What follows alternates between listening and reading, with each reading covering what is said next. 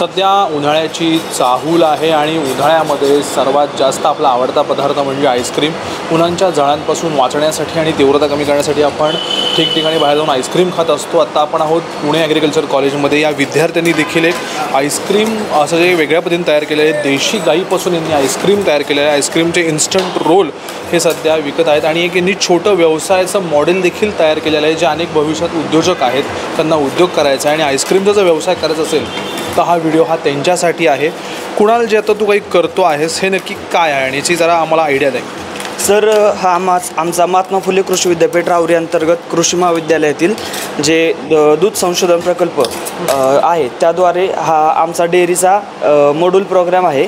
आणि त्यात आमचा एक प्रोजेक्ट इन्स्टंट आईस्क्रीम म्हणजे जे देशी गाईचे आम्ही आणि बरेच पदार्थ बनवतो जसं की पनीर बासुंदी वगैरे असं ते.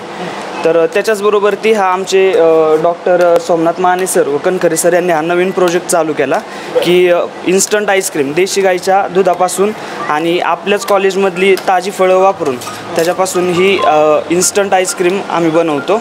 बाहेरच्या आईस्क्रीममध्ये आणि ह्या आईस्क्रीम असं काय फरक आहे? सर बाहेर जर बघितलं तर आईस्क्रीम बनवताना वेगवेगळे प्रिझर्वेटिव्ज ॲडिटिव्ज वगैरे ते ॲड केले जातात.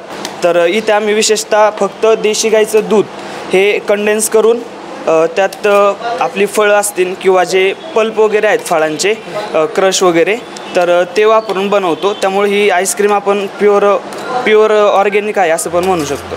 निश्चितच प्युअर ऑर्गॅनिक असं जे आहे शुद्ध आणि नैसर्गिक पद्धतीचं आईस्क्रीम इथं खायला मिळतं. मात्र हे आता नवीन उद्योजक तयार होत आहे त्या उद्योजकांना या आईस्क्रीम विकणे कसा फायदा होऊ शकतो? सर आता एक उद्योग म्हणजे एक छोट्या स्केलवरती किंवा मोठ्या स्केलवरती पण आपण हा एक ज्याला बिझनेस म्हणून याच्याकडं पाहायचा आहे. तर त्याला हा उपयोगी ठरू शकतो. साधारण किती खर्च येतो आणि याचा प्रॉफिट म्हणजे फायदा कसा होऊ शकतो याच्यामध्ये? सर आता एक लिटर जर दूध घेतलं आपण देशी गाईचं तर ते सत्तर रुपयाच्या आसपास जवळपास त्याची प्राईज आहे. तर मग एक लिटरपासून आपण त्याला कंडेन्स केलं तर जवळपास पाचशे ते साडेपाचशे एम एलपर्यंत ते कंडेन्स आपण पन्नास टक्के करतो.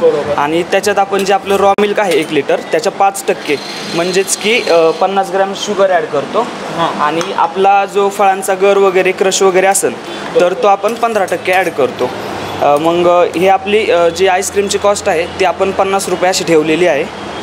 म्हणजे नवीन आणखीन उद्योजकांना जर काही व्यवसाय शोधत असतील त्यांच्यासाठी हा व्यवसाय पूरक आणि फायदेशीर ठरू शकतो सुरुवातीच्या काळामध्ये? हो सर. नक्कीच ठरू शकतो.